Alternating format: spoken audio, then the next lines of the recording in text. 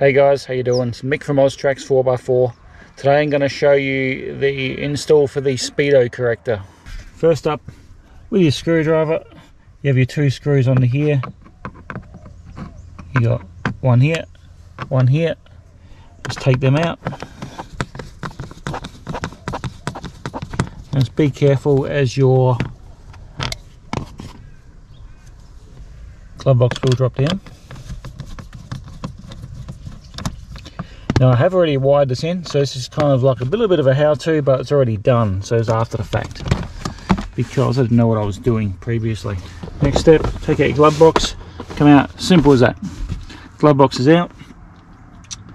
Um, now I've got my speedo corrector hiding down here. I haven't connected it to anything, but I'll pull it up out of the way so you can see it.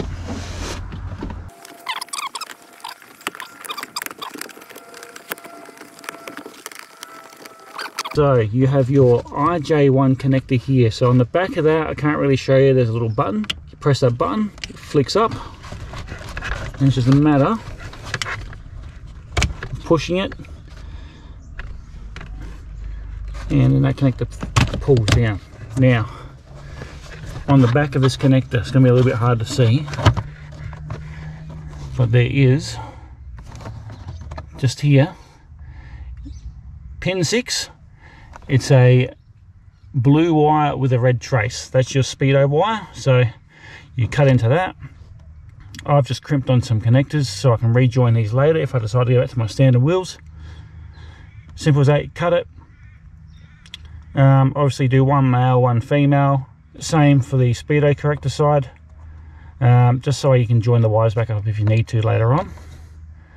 And that's as easy as that guys. Splice into that join the corrector wires up for your speedo corrector. Mine is a yellow wire on the gearbox side and what's that and a green wire on the instrument cluster side.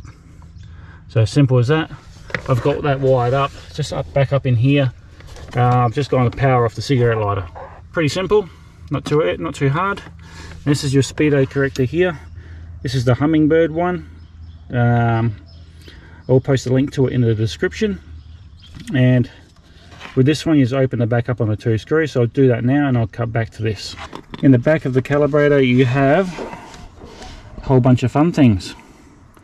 So these are dip switches and a rotary pot. So on your dip switches for this because I took a little bit of trial and error one and three have to be on the rest have to be off.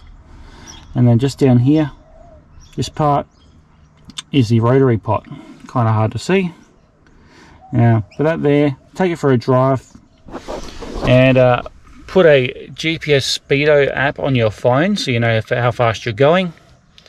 And it'll be as easy as turning that little trim pot the right direction to uh, get that to adjust on your dash. Simple as that. It's not a hard thing to do. Once it's all done hook it back up and put the cover back on and I just tuck it in behind the kick panel for the moment because it's not going to do any damage down there. Keeps it out the way. Um, I will mount it somewhere properly eventually. Always remember hook your connector back up. So these are the two white ones you'll see up behind your dash here so it is the one on the right. Just push it up in there. Grab your finger from behind and pull down and it will clip in and lock in. As easy as that guys super simple. Um, I recommend it so you don't have to drive around with a speedo app on your phone all the time which is kind of illegal. Um, you should be having a functioning speedo. Um, I am using this with my 33 inch tires and it's reading perfect. Not a problem. So yeah have any questions? Ask me in the comments below. Than that guys. Have a good one and I'll catch you in the next one